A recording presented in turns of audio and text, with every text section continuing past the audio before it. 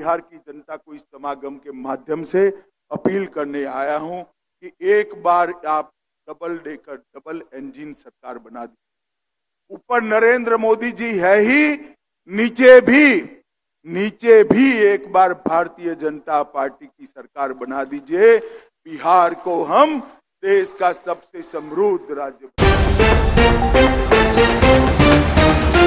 दोस्तों, नमस्कार। अब तक की सबसे बड़ी खबर मनीष कश्यप केस को लेकर। जैसा कि आप सभी को पता है, मनीष कश्यप की रिहाई पक्की हो चुकी है और सभी राजनीतिक पार्टियाँ मनीष कश्यप को अपनी तरफ़ खींचने में लगी हुई हैं। जैसा कि अभी अभी आपने अमित शाह जी का बयान सुना, जिसमें वह साफ़ साफ़ कह रहे हैं, एक बार आप हमारी सरकार बना दीजिए, ऊपर नरेंद्र मोदी जी है ही, नीचे भी हमारी सरकार बना दीजिए, हम बिहार को समृद्ध राज्य बना देंगे। लेकिन दोस्तों, जैसे की आप सभी को पता है, मनीष कश्यप समाज सेवी है। मनीष कश्यप हम लोगों की हित की हमेशा सोचते हैं। इसलिए आप सबके विचारों को भी मनीष कश्यप को जानना बहुत महत्वपूर्ण है। दोस्तों, अगर आप भी मनीष कश्यप को सच्चे दिल से समर्थन करते हैं तो वीडियो को लाइक करके चैनल को सब्सक्राइब करिए। और कमेंट बॉक्स में कमेंट करके बताइए कि मनीष कश्यप को क्या बीजेपी के साथ शामिल हो जाना चाहिए या नहीं। और इस वीडियो को सभी जगह शेयर कर दीजिए, ताकि अधिक से अधिक लोग अपना मत मनीष कश्यप के पक्ष में दे सके। यह खबर सोशल मीडिया से ली गई है, इसलिए इस खबर की पुष्टि यह चैनल नहीं करता है।